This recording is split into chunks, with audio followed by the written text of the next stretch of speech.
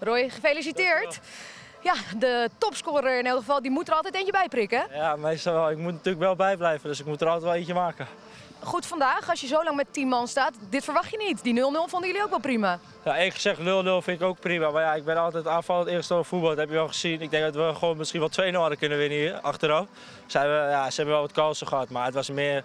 Wij zaten achterover te leunen en zij, je zag dat ze daar gewoon moeite mee hadden. Dus eh, ik denk achteraf gezien hebben we misschien wel verdiend gewonnen.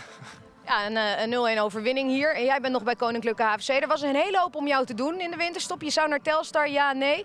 Maar goed, nu tevreden hier. Hoe is dat allemaal gegaan? Ja, heel tevreden hier. Uiteindelijk is het niet doorgegaan. Ik denk achteraf dat het misschien beter is. De kans dat ik daar het ga spelen is best wel klein. Als je ziet hoe Telstar draait, niemand is weggegaan daar. Dus eh, ja, dan speel ik liever hier dan dat ik daar op de bank ga zitten. Ja, maar, maar aas je nog wel ergens op? Misschien deze winterse transferperiode? Nee, deze winter sowieso niet. Ik blijf sowieso bij AFC deze winter.